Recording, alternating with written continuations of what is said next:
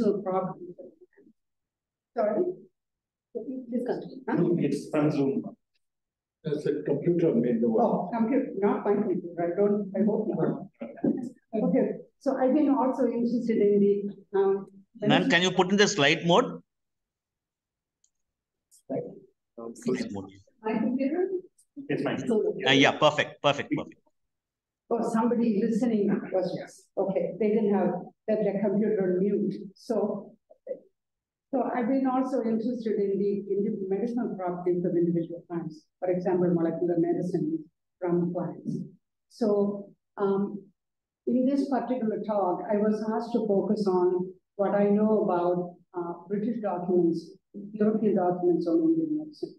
And this is, of course, a vast subject, and so I'm going to just give you an overview of the number of books that I'm familiar with that document Indian um, botanical medical knowledge, um, not only for medicinal purposes in use in India, but also for commercial purposes, as well as, of course, later for agricultural and horticultural purposes. Because Indian resources, as you will see later on in my talk, were of course unique in many, many ways.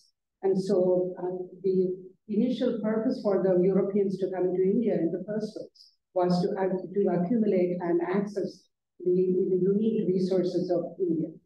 So we are going to, so I'm going to just uh, flip through a few slides initially, just to see, to talk to you about the reasons why, you, you know, about the early trade uh, that was happening between India and Europe, India, India and the, and the uh, Middle East and beyond. And this is, of course, the, doc, the motivation in the long run for the for the Europeans to finally come to India at the end of the 15th century. Because these the materials that were being accumulated from India had been passing through the Middle East and then from there to Europe.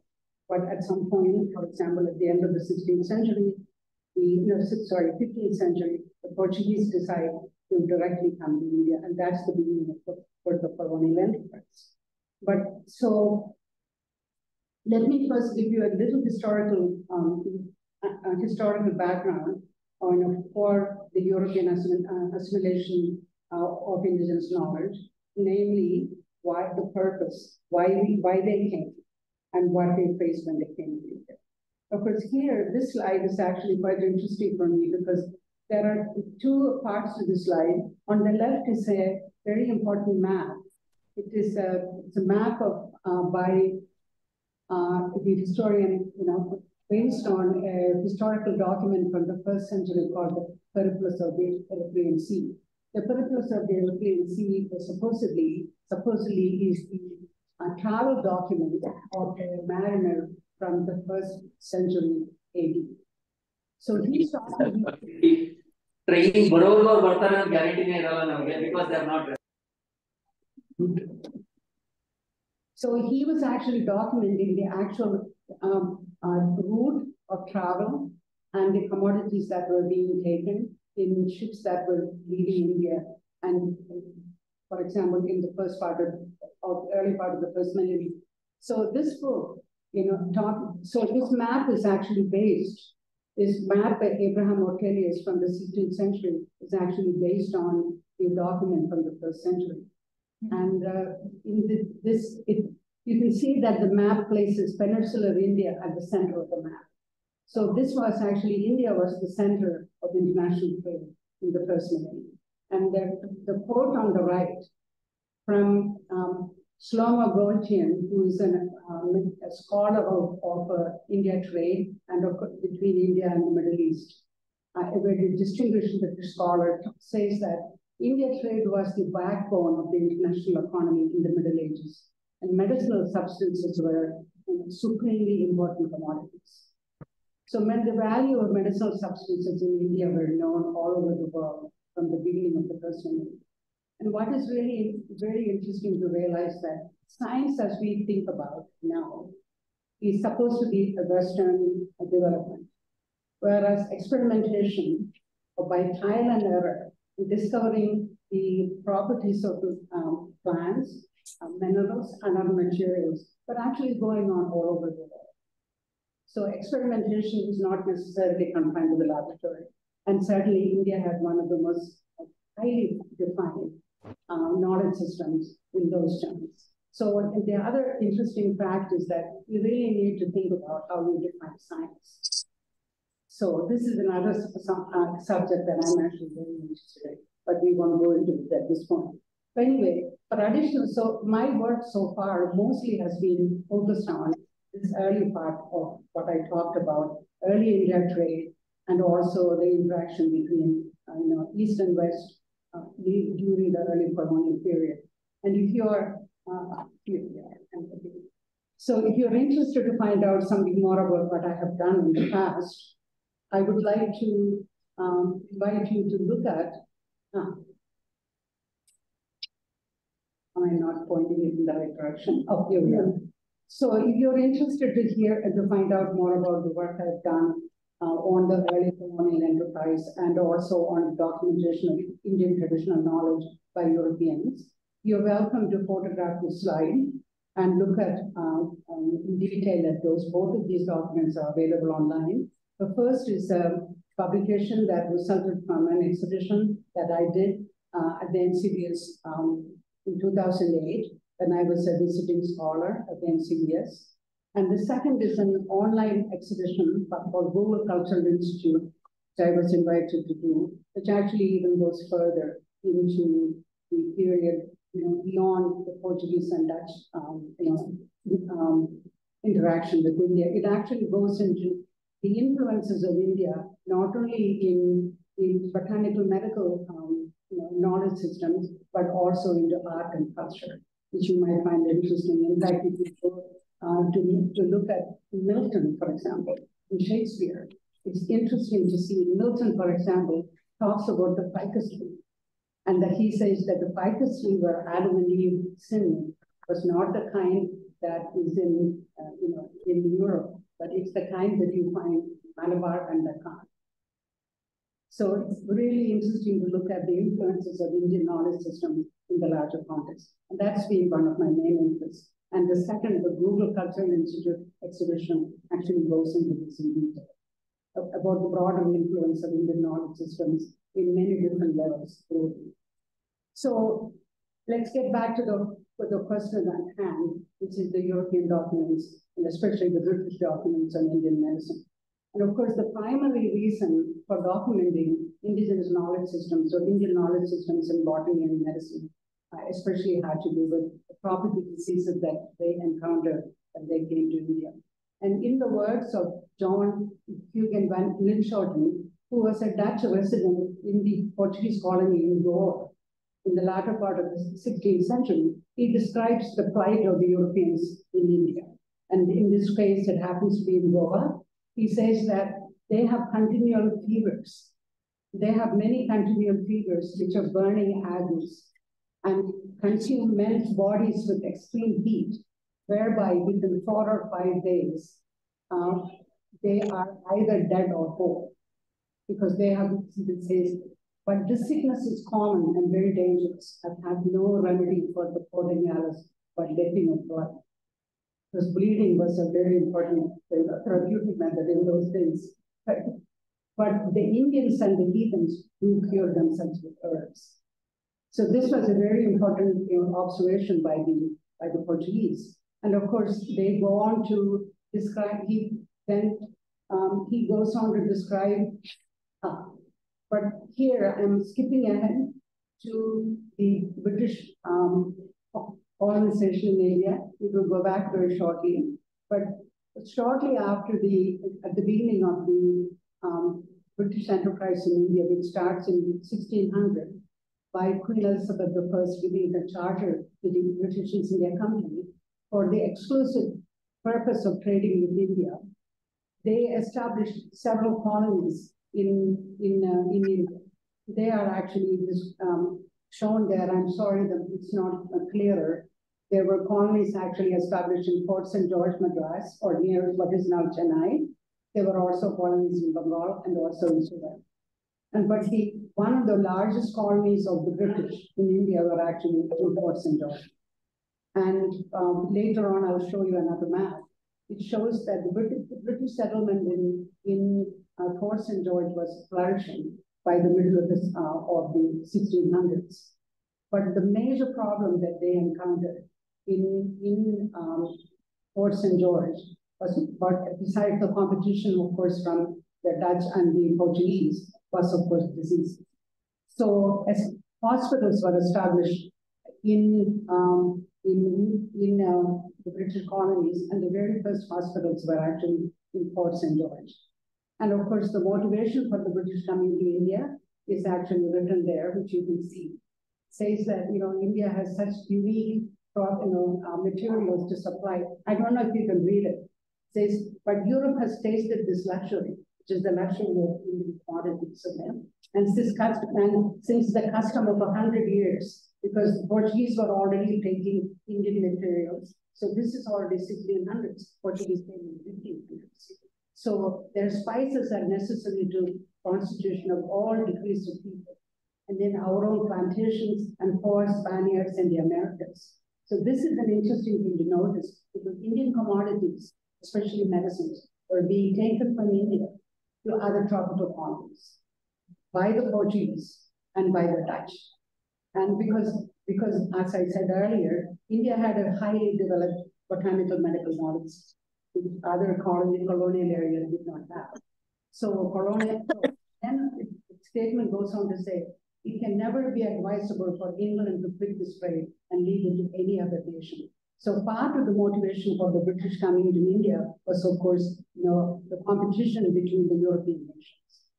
So anyway, skipping that, that was just to uh, give you a you know, better background of why they were in the, in, okay, so this is a detail of a map of. George.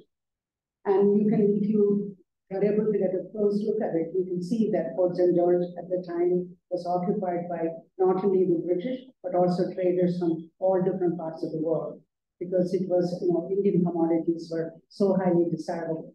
But again, the, the, uh, the disease issue is something that they had to deal with. And so by 1664, the first hospital, British hospital was established in Fort St. George, followed by one in 1688, one in 1700. And British physicians and surgeons were sent from England to take care of the troops as well as the residents of the residents in, in Fort St. George. So they set about to, to learn indigenous medical information from physicians, uh, from, from uh, traditional practitioners and healers. And this, so the information was then shared between the different um, um, medical facilities in various parts of India that belong to the British. So some of the documentation that I'm going to be talking about are were actually collected and documented for use of people from other parts, other parts of India, other British uh, settlements in other parts of India. But it, it is also interesting to note that one of the earliest settlements uh, was, of course, in Fort St. George, and some of the earliest publications uh, of botanical medical knowledge that the British did were documented in uh, from Fort St. George. You may say that this has to do with the high biodiversity of the of the region, where many medicinal plants were available. And there was also very, very uh, highly sophisticated traditional medical knowledge systems of all different levels in that part of the, in that part of India. So, uh, in the words of uh, of uh, Adrian Van Rheede Drakenstein, who was the who was the person who assembled the famous uh, Hortus his documents, he describes the condition of the of health and scholarship in medicine in India. In, and this is almost contemporary with some of the British documents that I'm going to be talking about. He says that, talking about the people of Malabar in this case, he says they usually live to a great age and their health is cured by native physicians who do not fetch medicaments from other regions. Since they are content with only those medicaments their region supply bountifully a custom which is imitated by the Europeans. So this is the beginning of the acknowledgement of the necessity of indigenous medicine, medical knowledge. So then here, Um, I don't know if you can see the fine text on the, on the image, but this is a document that shows the number of um, books that were published in the 16th and 17th centuries by the by Europeans in India that document Indigenous medical knowledge. And along with it, if you could get up close to it, I apologize for, uh, you could also see along with the major events in history of the time. For example, when Garcia Orta was writing his first book on Indian medical knowledge by a European, it was during the time of Akbar. And this Garcia Orta's book was the first printed book done in India. It was done in Portuguese for the use of the Portuguese living in India.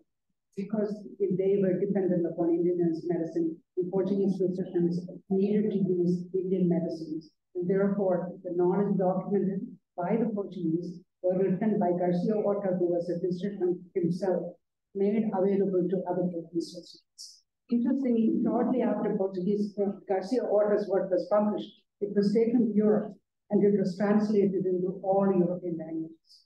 Because all the Italians, the French, and the Dutch, all of these people who are also establishing colonies in other parts of the world used Garcia Orta's book as a basis for finding you know, suitable therapies of related plants in other parts of the province. So anyway, this goes on to talk about a number of works, but I also want to point out that there are two publications there which are not entirely just medicinal uh, books for medicinal properties, but there were also very important texts of the period on, botan on uh, botanical knowledge. For example, the book by Carol, Carol Clusius or Exoticorum Legalism goes on and on. was a book, book published in 1605 in, in Antwerp. In, um, and it is one of the first studies of tropical botany because the discovery of tropical botany extended you know, the study of, of systematic botany. And so Clusius's work incorporates Garcia Orta's and also Acosta's work, because Acosta was a, also a Portuguese physician who wrote a book called Tratado de Drogas, Medicines, whatever, of India. But that book was written in, in Spanish and was published in Spain, in Burgos, because Indian medicines were being imported to Europe. And that book is particularly was written for Spanish physicians and and um, and apothecaries and pharmacists using Indian medicines in Europe. So I just want to give you a, a sort of a background of know of how the, of the of the dispersal of Indian medical information in throughout the world. And now I'm talking about Western world because we talked about the fact that I haven't really looked at at the at the dis, um, at the dispersion of indigenous knowledge because in, in many ways I find that you know China has a very strong medical system of its own and so on. And most of the colonial enterprise in, in India was, course, European. And that has been my primary interest. So anyway, this just gives you an idea about the number of works that document indigenous Indian medical knowledge that done by Europeans. And of course, we come to the British documents yet that they're going to come. So I just want to give you a glimpse of some of these books. And the other important part about some of these books, for example, the images that you see there are from the Hortus Indicus Malabaricus, and I know you have heard enough about it, so I don't need to introduce you to it. But what is interesting is that many of these documents were also European documents on Indian medicine, but not only important as medical texts, but also as texts of, of botany because these are the first accurate botanical drawings that were made that were made of Indian plants that were available in Europe. So in addition to the medical knowledge, these volumes also contributed greatly to the study of systematic botany. In fact, um, you know, um, Linnaeus, who uh, did the first botanical classification, relies actually on Indian botanical books published of Indian botany as one of his major sources, uh, especially the Hortus Malabaricus, actually. So finally, we are going to, uh, so one question, the elephant in the room here is who are the people who supplied the knowledge of the Europeans? And in many cases, except in the case of the Hortus Malabaricus, the indigenous sources are unacknowledged. And you will see when I give you uh, names of the British books, the books are always published at the name of the British person or the or the person who assimilated or who, who collected the knowledge. The individuals from whom they learned, learned, who contributed the knowledge, who provided the medicines, who identified the plants, who collected them are never.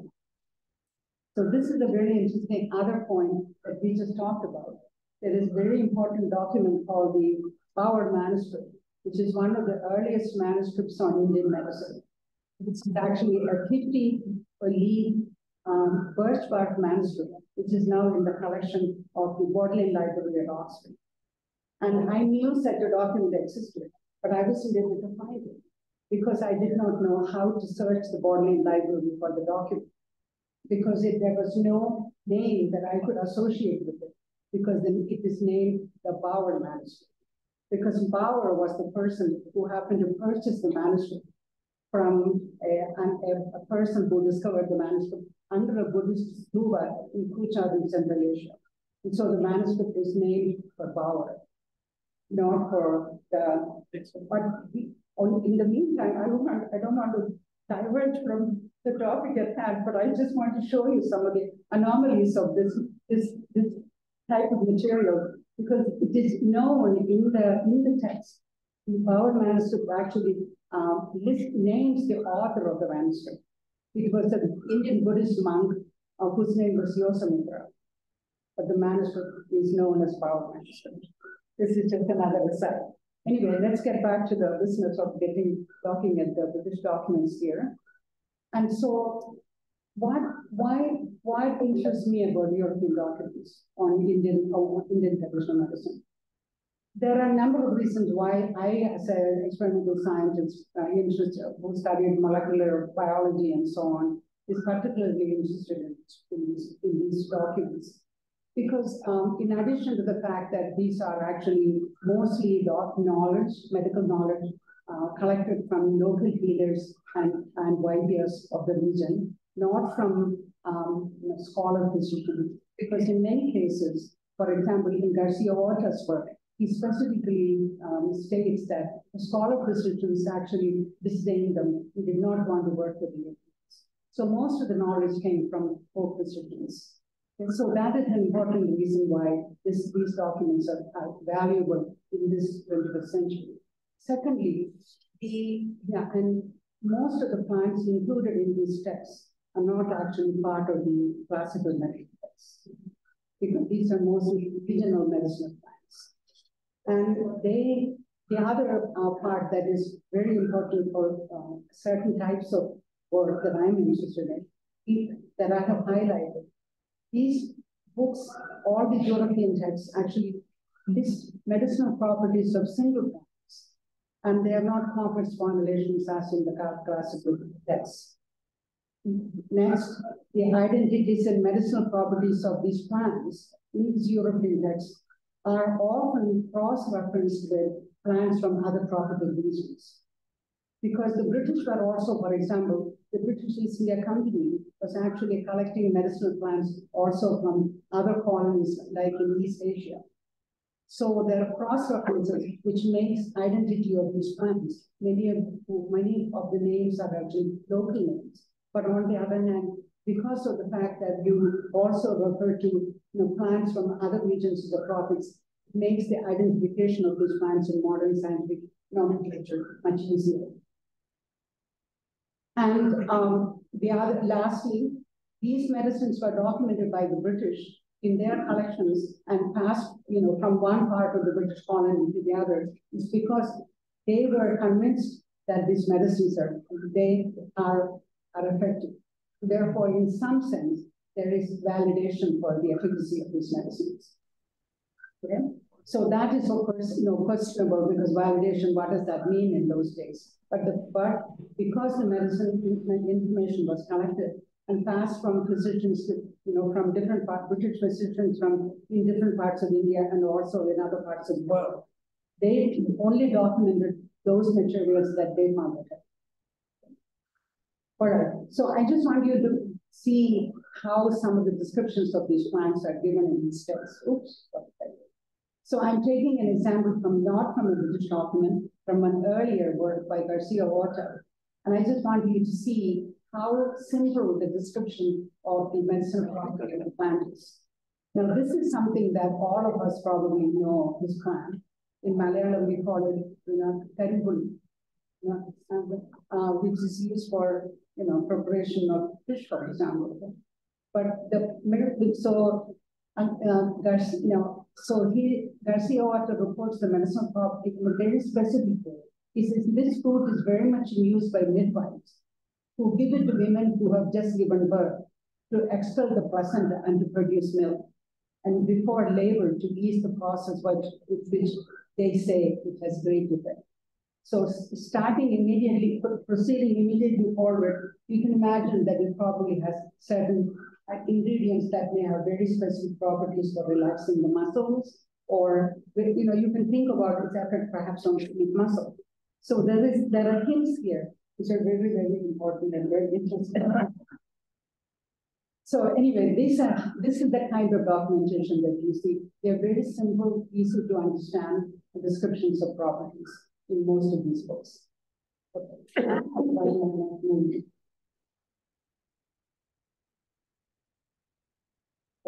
This uh, so now I finally we are going to get to uh, some European, some British documents. And so a little bit of information about the East India Company itself. East, um, East India Company's principal settlement uh, in the uh, in the middle of the 17th century was actually in Fort St. George. And this is just an image uh, that I got from the Yale University Museum of British Art uh, about the um, about the just an image of the of the region showing some of their um, establishment their factories in the back and so on. And so company restrictions were, of course, you know, um, were established in, in, in these different hospitals.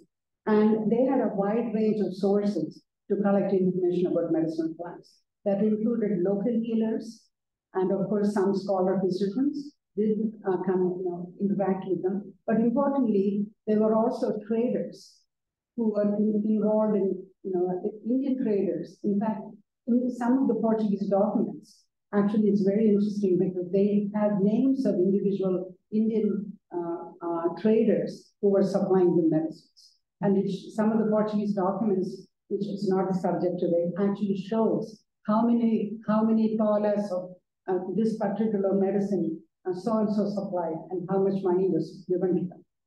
So many, some of the suppliers were actually uh, traders who knew the values of medicinal plants and therefore were supplying them to uh, some, in this case, the British. And then, of course, you know, for exporters, or also people who were exporting materials to other parts of Europe were also supplying these, these uh, physicians.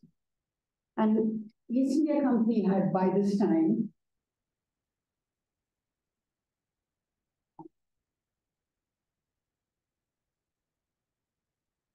Oh, okay, we're going back. So East India Company had by this time commissioned British physicians in all of their all colonial hospitals to collect information on medicine plants and their uses and convey them to their, their to England to the set of to for them to disperse to other parts of the world. And one of the earliest such um, documents that were collected by the British East India Company actually came from Fort St. George, Madras. And there were a series of eight papers, and this is what I want to start with. Series of eight papers, which were published in the Philosophical Transactions of the Royal Society, starting in 1701 to 1702, which was published by uh, a a member of the Royal Society called uh, James Petiver. He was an apothecary as well as a botanist. So these papers, one is that image of that thing on the top. Anyway, there were eight papers published and they were um, starting in 1701. And so this is the first type of the title of the first one. The first book of East India plants with their names, virtues, descriptions, and some additional remarks by James Petiver, apothecary and fellow of the Royal Society. And so underneath it says, these plants were gathered from February the 26th to the 28th okay, at a specific place and about 20 miles from Fort St. George. This is very interesting because we know the time and the location where we're taken. Now, this, this, so, uh, okay. So in the meantime, what happened, of course, was that British East India Company, as I said earlier, was actually commissioning all other physicians to collect material and send it to the East India Company office in London. And these informations were then dispersed among the scholars and naturalists in, in England for study of bot botany as well as for understanding and assembling the medical information. So James Petiver, who was the fellow of the Royal Society, gets access to this material sent by, um, by Samuel Brown. So let's look at some information about who Samuel Brown himself was. What's going on? Ah, so the collector in this case is documented to be Samuel Brown. Samuel Brown was the principal surgeon in Madras since 1688, 1697. And over a period of 17 years, he collected over 300 medicine plants used by Indian physicians around Fort St. George. As I said earlier, Indian sources are unknown, but these plants were um, selected obviously because Brown, in his experience, and those of other physicians in knowledge, found these plants to be effective for whatever diseases they were being used for. And Brown was also commissioned by the East India Company not only to send the information about the medicine plants, but to send plant specimens and seeds and plant cuttings, also preserved herbarium sheets for the Royal Society to distribute for study. And the, on the left is a um, plant specimen that was sent by Brown to the East India Company, which is now in the collection of the Natural History Museum in London. And so Brown states that his motivation for engaging in this activity is for improving natural knowledge and for use and improvement that and for maybe made of such collections have ordered that public shall have benefit of this present. His English is a little bit complicated, or, but because it's sort of ordering it, right? But basically, he's doing it partly because he thinks that it has a great, you know, value for the for the benefit of the public. So this was sent as a gift to the British India Company, and from there, the British India Company then engages scholars such as um, James Petiver to analyze and comment on this material. And so these papers that um, are of great value because uh, as a scholar, Petiver then interprets this material and so sorry. So, so the scholar in this, in this case is James Petiver, who is a fellow of the Royal Society, apothecary, and a prominent naturalist in London. And through his collaboration and the exchange of correspondence with Surgeon, with Surgeon Samuel Brown, he created an important earliest early collection of, of early British collection of Indian medicine plants and information about their usage. And these eight papers were published in the Philosophical Transactions in the Royal Society with annotations actually from other European texts. So they are actually very interesting scholarly work for study of individual medicinal plants.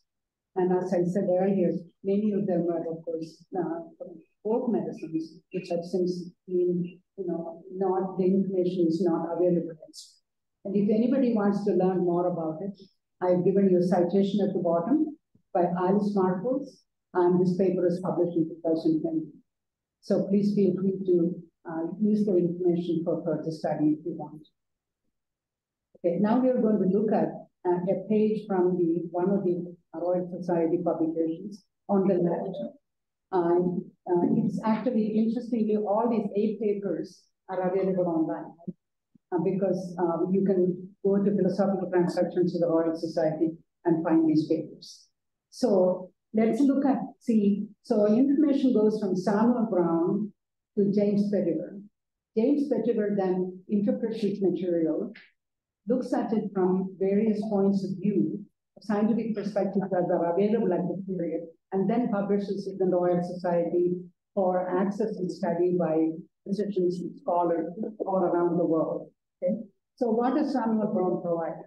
He provides place and date of collection, local name of the plant, description of the plant, medicinal properties.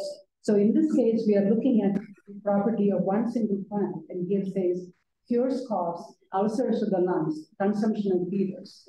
Then he goes on to describe the part of the plant used. Then he says the method of preparation. Native uses boiled in butter. So, um, and then James Petiver, on the other hand, takes the information that um, that uh, um, Samuel Brown has supplied and interprets it in his own way. And he looks at the local name and he then looks for corresponding names in other publications. Okay?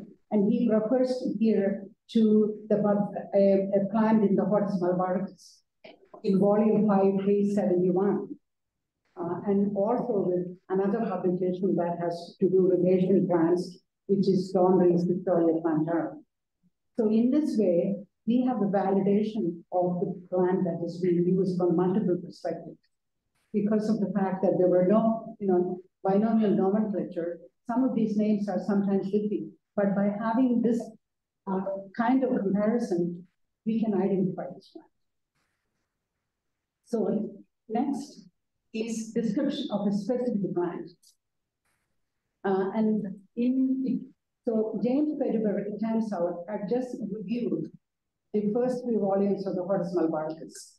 So Petiver's intention actually was to work with um, Samuel Brown to put together something akin to the Hortus malabaricus. So he refers here to the Hortus malabaricus in, because up on the top, and it, it talks talks about the fact that uh, so the, the takes away swelling, abates sharpness of urine, eases of the stone, and so on and so forth. So basically, one gets the feeling that it must have diuretic properties. So reading this text, one is able to, uh, you know, give, to interpret in modern terms some of the properties that this plant may have. But then what I did was that I went to the Hortus malabaricus, which he refers this plant as being related. So I looked up the image of the Hortus malabaricus, image of the plant in the Hortus malabaricus, and there you have it. And the plant in the Hortus malabaricus is called Kadaledi. So then I looked at the property of a in the Hortus malabaricus. Interestingly, um, uh, Manilal's translation of the Hortus malabaricus, which of course makes this information accessible to us because it's no longer in Latin. And of course, there's a picture of, uh, of um, Professor Manilal. The English translation says that Kadaledi decoction removes swelling and dysuria and removes pain of the stone. Okay, and it also is uh, it also is uh, extracted with butter. So in many ways, the properties relate and break stones of the bladder. So you see some of the same properties appearing.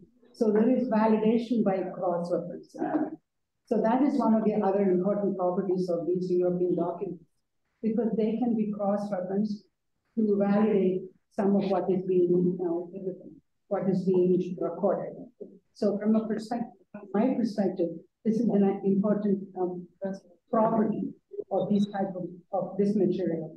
But anyway, um, leaving this behind and jumping forward to other British documents of the period, you can see that a large number of British documents were actually published in up into the um, into the early part of the 20th century. And they cover all manner of uh, subjects, including horticulture and uh, you know, general information about plant flora of British India and so on. Um, large numbers of works were published because India was also the source of not only medicines, but cotton and, various rare woods and many, many other products And so many of, uh, all of these books, that this vast number of books, and this is just a, a selection. That, that just shows you, again, as I said, all of these books are of course published under the name of the, the authors, the collectors, okay? So there are three books that I want to just give you a brief introduction before I stop, which is will be particularly interesting all of you here. One of them, this is the first one, a catalog of Indian medicinal plants and drugs with their names in Hindustani and the and Sanskrit languages. And it says intended chiefly for the use of gentlemen of the medical profession on their first arrival in India, to whom it must be desirable to know what articles of materia medica this country affords, and by what name they may that they may find it. And of course, this is the front page of the of the book. But it is especially John Fleming was a physician scholar and was actually very um, um, very involved in that documenting uh, Indigenous knowledge, Indian medical knowledge. And this is a very important work for anyone who is interested in the subject. Next, I want to introduce you to um, a book by J. F. Royle. Royle was actually um, also a physician, but he was also interested in, in the, he was also interested in the, in agricultural and uh, other aspects of indigenous medical plants. So the purpose of this work, he says, but for showing the immense resources of British India, both as regards whatever is necessary for agriculture, manufacturing, and, and internal trade of people. So his intentions were recording but broader. But he goes on to say, again, something happened. Much attention has been paid to the materia medica of India, as this formed a principal object of the author's studies.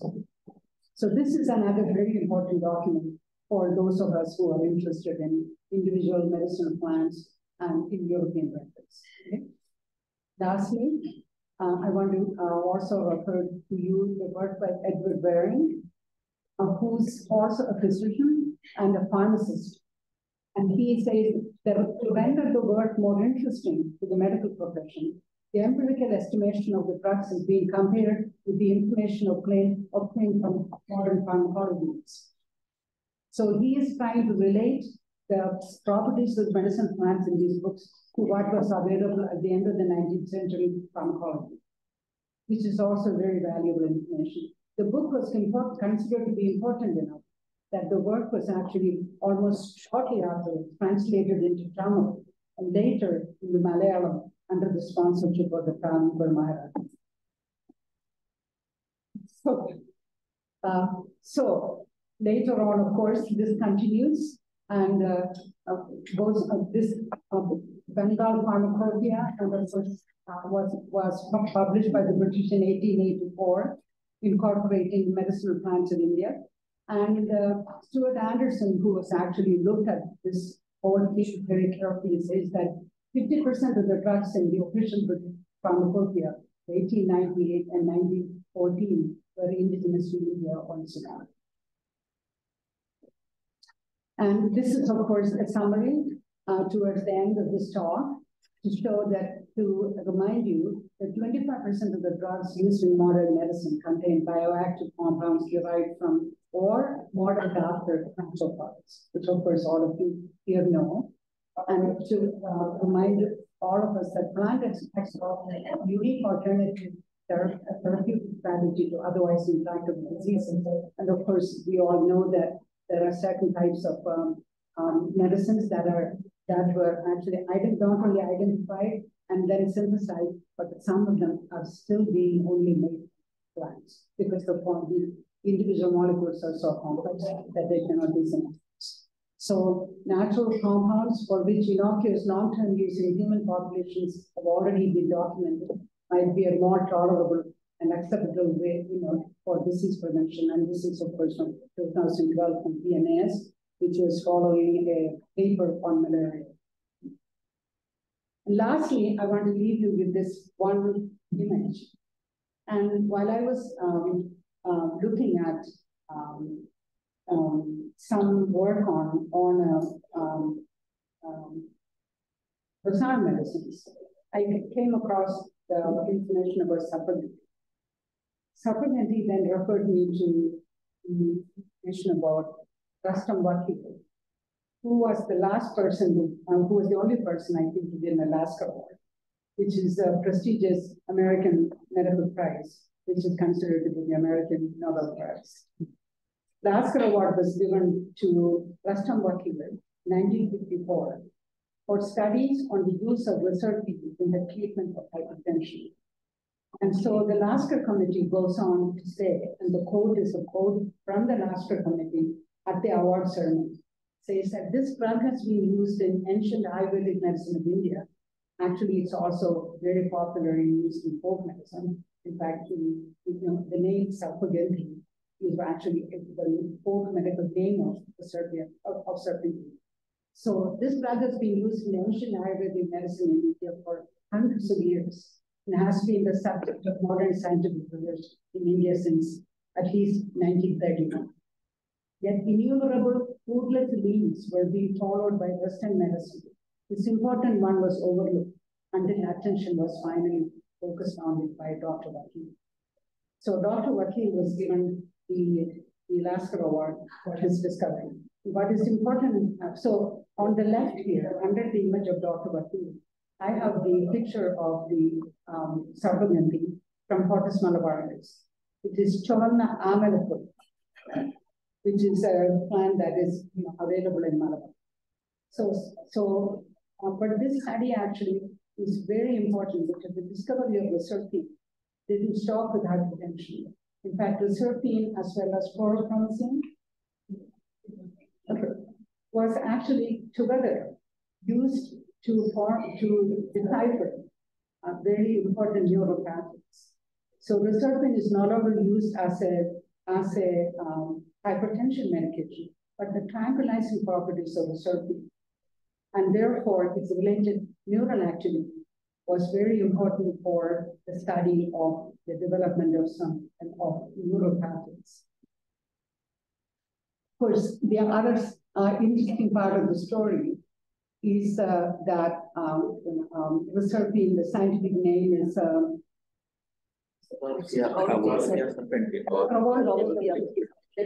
Rauwolf was actually a German first German physician who happened to come to India in the 18th century and, and then studied veterinary medicine. But of course, there is serpentina, which somehow refers to serpent and, and serpent. So we did get a little point there. So this is my final slide, I think. Of something that we all know very much about, so I don't need to repeat it. But with rapid loss of regional medical practitioners and folk medical knowledge, the European books on Indian regional therapies valuable resources to be visited by the contemporary scientific methods.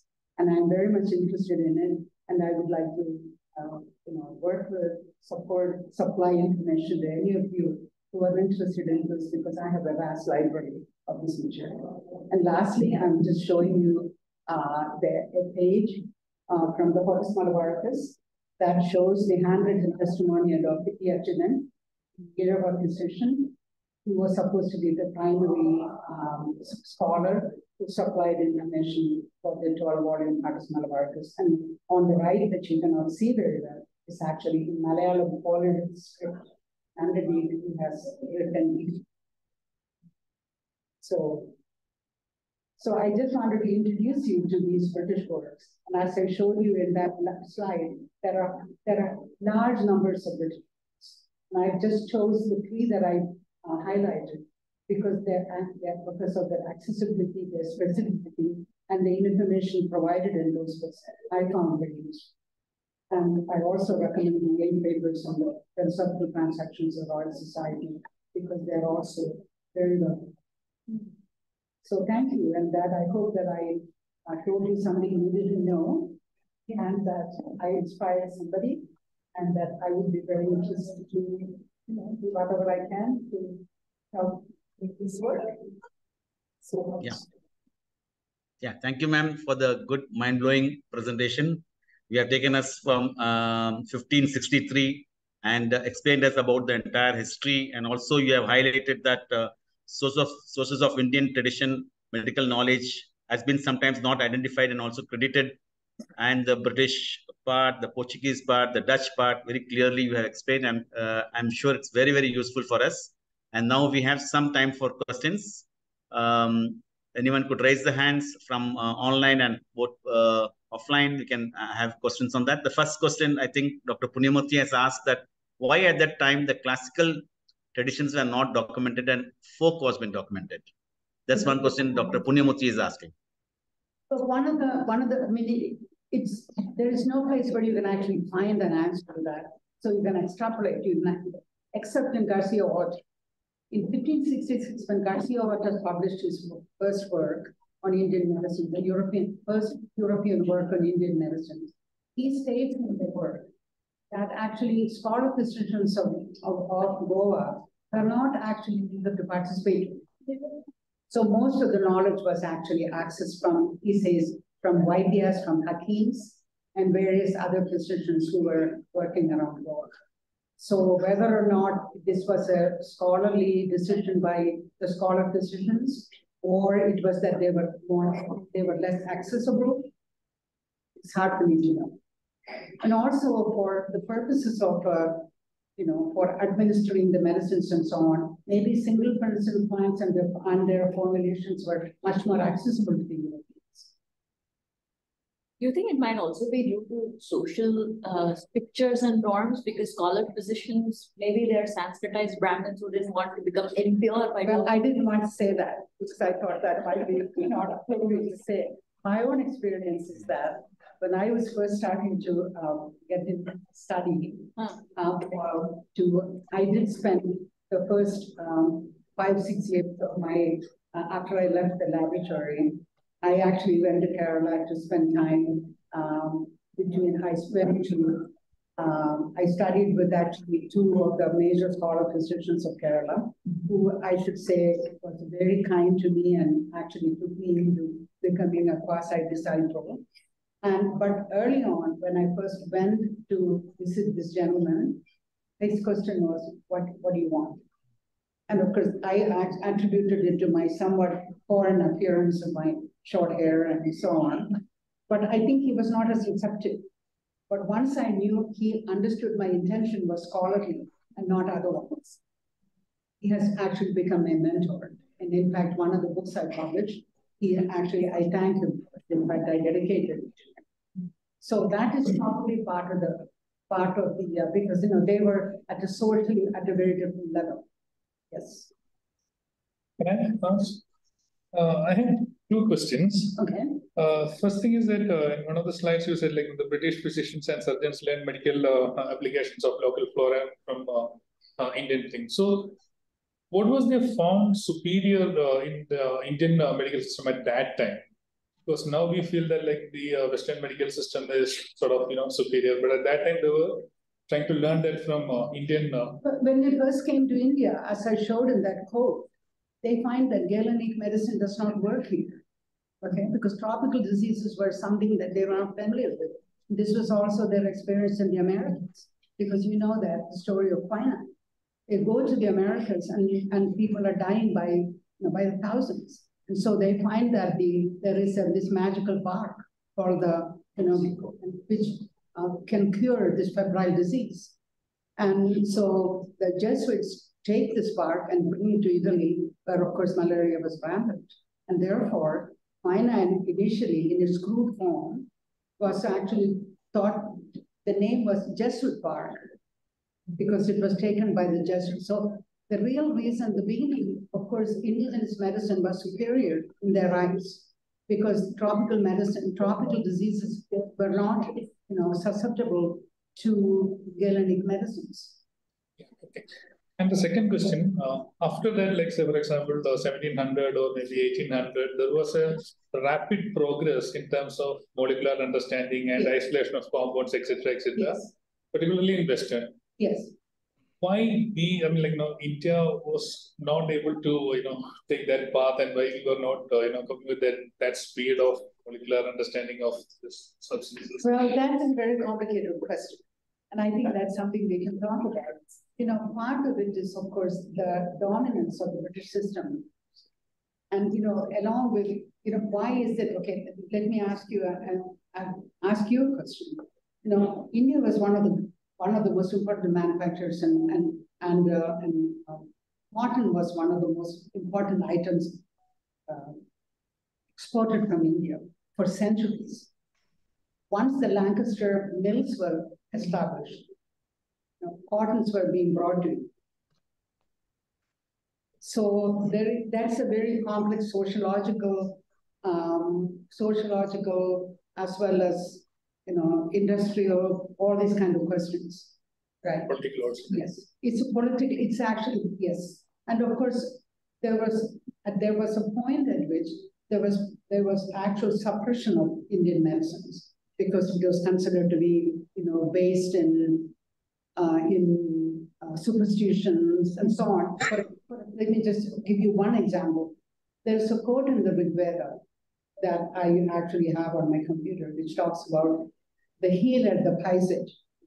He is on. He is uh, the plague, plague dispeller and the demon killer.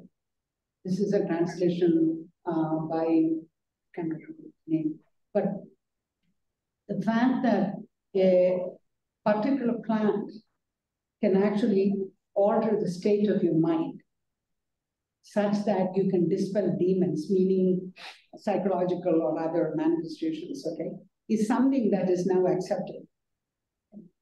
But initially, the fact that you, an individual physician could actually uh, do uh, a therapy, a treatment, including a ritual as well as a, a medicine, and change the altered state of mind was considered to be, you know, hocus pocus. Mm.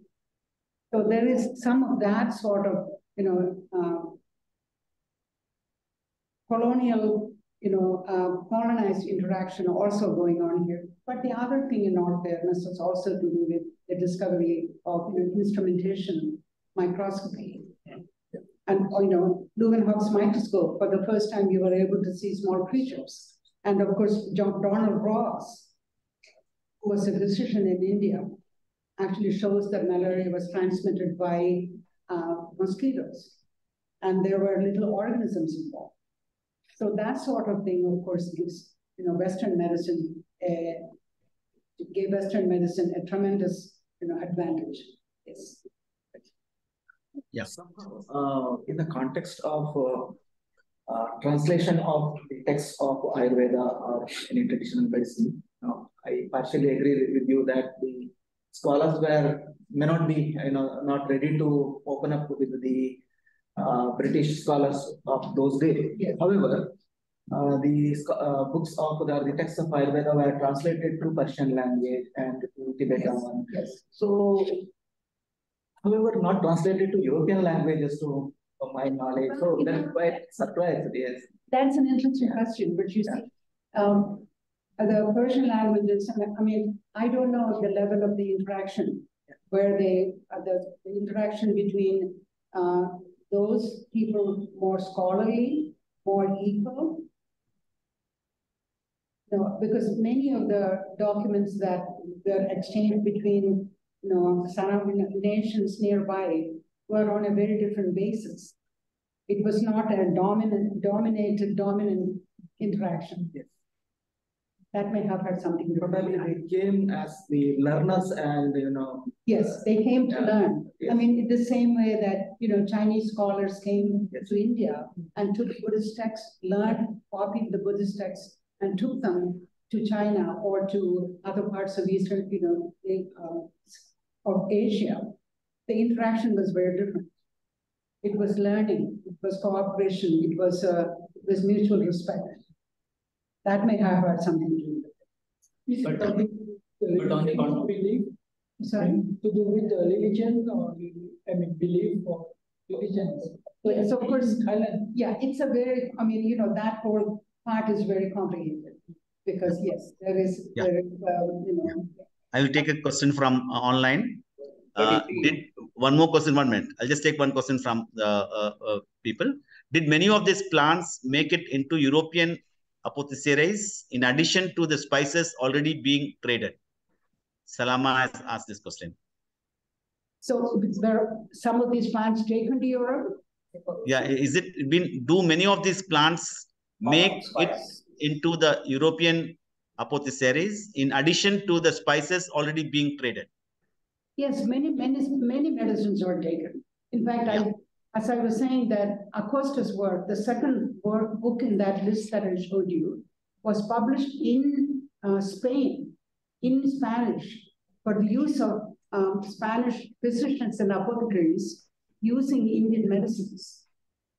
So in the same way as I was also, you know, yeah, if you look at some of the Portuguese literature, Portuguese correspondence from, from the, Estado, India, you can see that large shipments of medicines were actually taken from India to not only to other colonial enterprises, but also in, to use in European hospitals. Yeah, one more question they have asked. Major part of botanical collection and documentation during the colonial period was done by groups of European naturalists, physicians, and botanists under Danish Halle mission. Why there is not mention about these those contribution of Benjamin Connell, John Gerard Koenig? Oh, John Gerard was the British British uh, apothecary, and John Gerard actually never came to India. John Gerard was a herbalist. Uh, I actually have happened to have a facsimile copy of John Gerard's work. John Gerard had never been to India, but he did collect information from uh, from um, other in information about Indian medicine plants. In fact, Gerard's book lists 200 plants of Indian origin, which have medicinal properties. But he was never in India. Those books document some Indian medical information, but they're not exclusively on Indian medicines. Now, I missed the other name. Yeah, and Christopher Samuel John, John Peter Rottler, and uh, Carl Solder, and Jacob Klein. These names are already. It was not my intention to uh, talk about every uh, British publication or European publication because I would be here until tomorrow morning. As I showed you the list, the slide, large number of works were published. I selected some for reasons that I thought would be of interest to you. Uh, and so I did not meant this to be a comprehensive record of all British documents on Indian medicine. Yeah. That is and not. Amoga, yeah, Amoga has asked one more broad question saying that what are the scope of Indian traditional medicine in the US? It's a quite broad question, yeah. Well, Indian traditional medicine, I mean, it, it depends upon how you define Indian traditional medicine. Um, there is, of course, a great deal of interest. And in fact, I was going to show you slide just as sort of an aside for fun, but then I thought it wouldn't be, it would take away from the more scholarly nature of the talk. But I had I have it on my cell phone. If you want, I can show you. I was in the pharmacy in in my home in where I live in Palo Alto, and there was a whole shelf of over-the-counter medicine, over-the-counter uh, selling Tumarol, extract from turmeric plant, as a cure for a number of conditions, over-the-counter medicine. So there is a you can buy ashwagandha extract, and so if you if it but then, of course, there is, uh, you know, there are um, bona fide Ayurveda practitioners in India, and know, in the US. So there are different levels of traditional medicine, medicine derived practices in the US. Yes. Any questions there? Yeah. And sir, I have posted a question. Yeah. yeah. Did you see that? Uh, you have posted, right? Yeah. the top. Uh. On, you have uh, thanked a lot. Mostly you have thanked a lot. You can you no. can ask doctor. You can ask doctor. Yeah, yeah. yeah. Uh, I have a. Um, uh, you have said that uh, the, Britishers and uh, Portuguese, the Europeans and Portuguese have taken our medicine, our medicine for their personal purpose. Still, it is going on. Still, we are presenting all these things, but still, these things are going on we are not properly recognizing that uh, the traditional medicine. Okay, or the knowledge holders. What's your view? Um, I mean, are you think that they are they're taking advantage of our medical information? Yeah, they are taking. Yeah. Uh, uh, earlier they are taking, but now our people are also taking them, and uh, they are not at all properly recognized. But I Still, think, I think it's, it's our responsibility to ask for recognition, and that's why I think that, that I said Still, that. that's why I still, you said- know, most of the modern medicine are uh, modern medicine comes from these leads, ethnomedicinal leads. But we are not, but, but we are sidelining them. Just remember that today's modern is tomorrow's traditional. So we have to recognize all these things. Okay, I am uh, uh, to- to- saying it in a holistic view. Okay, not uh, in a narrow view. That's all. I certainly agree that Indian, Indian traditions have certainly had a huge impact on Western wellness. You know, the, the whole idea of, of meditation, the whole idea of yoga, and the, that, that there is a component to mind-body medicine, that mind is an important part of wellness. All of these are certainly concepts that have Asian origins. And it's not necessarily only Indian, but there are certainly concepts that have Asian origin. And I think that is highly recognized. Yeah, one more. We'll take a last question. Anything from there? Yeah, I have, I just. Yeah, please. Yeah, please. First, thank you. You inspired me thirteen years ago. Of course. Uh, by holding the conference in NCBS and then DS was a speaker. Uh, and that's the reason maybe I'm here, uh, one of the reasons why I'm here. But I recognized you. remember? Yes. So, uh, and the question I have for you is that, uh, now when I see that there is so much about formulations and the, it's not just the botanicals, it's the process and all that. Do you think that was deliberately kept aside by the bot, maybe the botanist or the scholar who this books or they didn't, as you said, they didn't have access or, but access means it was available everywhere. But the only the botanicals, the plants were given utmost importance. And the Well, actually, if you look, if you look at the, the one that I showed you from, from the oh, philosophical transaction, it talks about the fact that it is made and extracted with butter. Yeah. And, Yeah, and- yeah. there are others you say it has to be, it's a decoction. So there are, in, there is information on preparation, but how extensive it is, you know, that you would have to really look at more closely. But in the method of preparation, at least in the papers on the philosophical transactions, they do give method of preparation.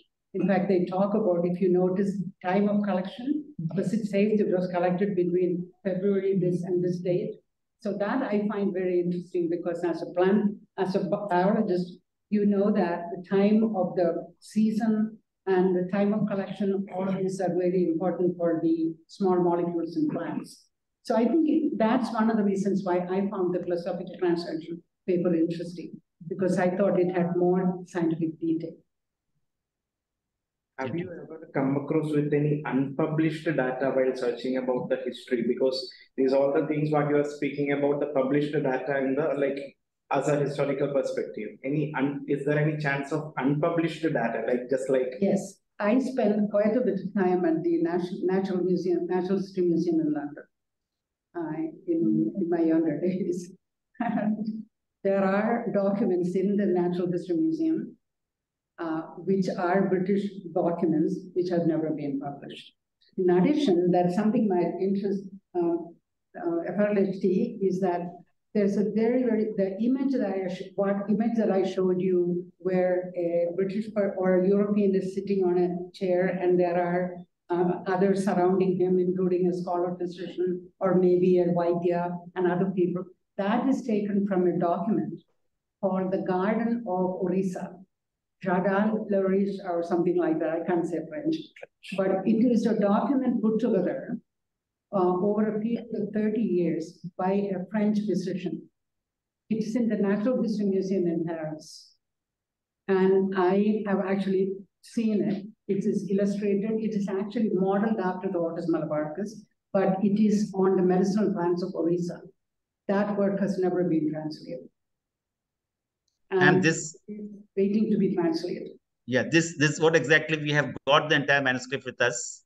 We have in our with us, in, and they have given us now uh, to translate this from French to English. They are agreeing to uh, come forward this, and we are trying to work out with them and see that uh, how we can really translate this entire Orissa uh, uh, items to English. We are working on it. Yeah, yeah. Because, because that book was The actually, paintings. yeah, first Yeah. brought to notice by Kapil Raj Yes, And then, yes, and then at a meeting in Hyderabad, yeah, uh, the, the actual disc of that uh, was presented to. Yes. Yes. yeah, that- same thing. That copy we got now, it's there online. We are trying to uh, talk with the museum head in such a way that can we work out like translating this into English and Oriya language. We are trying to work on it. Let's see what they're saying. We have written to them. We are waiting for their response. Yeah. For, for more, for more such documents, I suggest the, the Natural History Museum in London. Yeah. There are documents that have never been printed, Mhm. but they're in English and they don't need to be translated. Yeah. But Yeah. there are lesser works by, um, British physicians, uh, which were not published. What about the Wellcome Trust collection? That also, must- does it also have some stuff? I can, The Wellcome Trust collection? there is Wellcome, I don't know if the Wellcome has unpublished work. Yeah, they do. They have a Okay. wall full of stuff. Okay. Uh, but I, I mean, and they dig out stuff from there depending on how the, uh, they want to curate their museum. But that's just, I never thought about it, but they have, uh, because Henry Wellcome was a very prodigious collector, he could collect anything. Yes, he was a prodigious collector, prodigious Yeah. collector, yeah. In fact, one of the images that did, I didn't show was an image from the British Wel- Wellcome Library that showed a surgical procedure Ah. that was, and that was actually done in India that the British recorded, that, that, that they had never seen a rhinoplasty. Ah, right, yes. Yeah, that image is in the, Correct. in the Wellcome line. I think it's getting time. Uh, Darshanji, do you Sir, like to Sir, sir, say something? one second, one second, one second, one second. Just to say hi Yeah. to Darshan Shankar sir, after a long time. Yeah, yeah. Okay. Yeah, Darshanji, do you like to say something? Yeah. Just one comment towards Yeah. him, uh, asked the question. There's a French, uh, scholar. F O, I don't pronounce it, The Emperor, something. who says that the first translations of Ayurvedic literature in the West were probably made by Greeks. So the humoral theory, yes. according to this French person, may actually be a translation of the Osha. So it's not that, uh, no translation, but of course that not enough scholarship has been done. This Frenchman says that he thinks, I have seen in the Borough Wellcome Library in London, an entire book uh, in English, translation, but a book which says a big book, you know, maybe 150 pages, on the theory of the breath. Breathing breath. I would have thought, you know, looking at this, it is Vat Vichar, but it's a, it's a Greek uh, literature. So a lot of Greek literature, if someone does scholarship, might find that the earliest translation, the translations into Arabic, translations into Persian took place much later. And even Galen, what he promoted was the Greek humoral theory into the Middle East. Yes. So he brought the humoral theory into the Middle East far earlier than uh, the later actual translations, which you can see in our library. There's a excellent re- references by this Seema Alavi. Was there at that uh, that is talking about.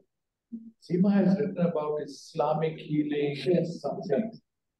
But her second chapter has very, very good references to the relationship between uh, the Arabic and the Persian traditions and Ayurveda directly from uh, primary sources, etc., etc. So there has been, but uh, starting the Greek. More recently, yes, there has not been, and uh, the question of, you know, just a comment, I think, it is much easier for the user to look at a formulation that's working than to try and figure out the principles behind it and And you know, the logic behind it. So no one bothered about profoundness of, you know, it's it's what we are all familiar with, you know, with the Dosh Vichar and this and that and all that. Theoretical foundation, but never explored. You were only looking directly at the application end. It's much easier. The plant, single plants, easier than complex, the actual formulation, the actual use. So no one went into the depth to see the theoretical. Still, even today in India itself, even on abroad, uh, we don't find this exchange happening between. You have the very person whom she interviewed, the family, Vaidya Madam. I first met him in 1986. And, you know, he narrated to me an actual work that he did on regenerative biology, where he had uh, transformed a person of 50 years old, not 100 years ago, this century. this is the narration of 1986, you know, where at the end of a 90 day treatment, the skeletal tissues had transformed. Hmm. The hair fell down, new hair came, teeth fell down, new teeth came. To a person at that age, 50s. He narrated similarly about a leprosy patient who recovered. You just you have no interaction between modern stem cell biology and Rasayan Tantra, which is the name we have for regenerative biology. And the goal is the same regenerate cell, tissue, organ, the whole body. Even today, there is zero interaction. So, I think that's one of the really losses of this of the, issue, yes. But the works don't even mention the words Vata, Pitta, Kapha, or where? in, No, that, in these uh, document uh, documents. But that, see, uh, because that becomes complex. No, because now what is one? I mean, you will find it in Asia. yes. You'll find it in Chinese equivalents, you'll find it in Pali, you'll find it in, uh, in Thai. Because here the culture, in Japan, you find it. Because, you know, here there was a cultural uh, thing also. There, Vata, Pitta, Kapha, not there, even now here. Yes, The best modern scientific Yes. institution. yes, Who's yes. talking of Kapha, Vata, Pitta, we don't know what this means. Not even a word of fundamental. Yes, But, but you know, to, to comment on what you said, that these books don't mention Vata Pitta. One reason is that these people, these people who recorded, did these recordings are not scholars. Their major, their major goal was to find cures for people, for British soldiers and, uh, you know, and, and. Yes, yes, in correct. So they were not really scholars. They were physicians who were sent here by the British East India Company to cure people and keep them healthy. So they had no scholarly interest in, in reality, and this is why the Petiver comes in. You know, so James um, Brown is, I mean, Samuel Brown is sending the material to Petiver, and Petiver is trying to put some scholarly interpretations on what he's sending by referring it to other existing tests and so on. Yes, I think, Yeah. I think by that time, you know, Europeans started to look at the molecules rather than, you know, yeah, because quinine was discovered by that time. And infection also. Yes, exactly. That's, uh, That may be the reason. I think it is getting late. We can uh, conclude the session. Uh, so I thank uh, ma'am for really presenting us and many people are really written many other questions. There are still few questions I'll directly pass on to you later uh, because it is getting time. And thank you very much, ma'am, for uh, spending your time. And when's the moment when I wrote, you agreed and you said, yes, I will, I am in India. Immediately I'll come to TDU and give a presentation. This will be very relevant to all, all of you. That sort of words that you have written in your mail. Really, uh, we are very happy that uh, you have spent your time and you have come here and uh, enlightened us with different uh, things now to think. Our mind will start thinking on different issues and we'll start working on it. Uh, thank you very much. And I thank all the participants who have uh, been both, both online and offline. Be in touch. We'll be having similar webinars like this on different different themes, uh, which will be really enlightening. Thank you very much. So we'll end the session. Thanks.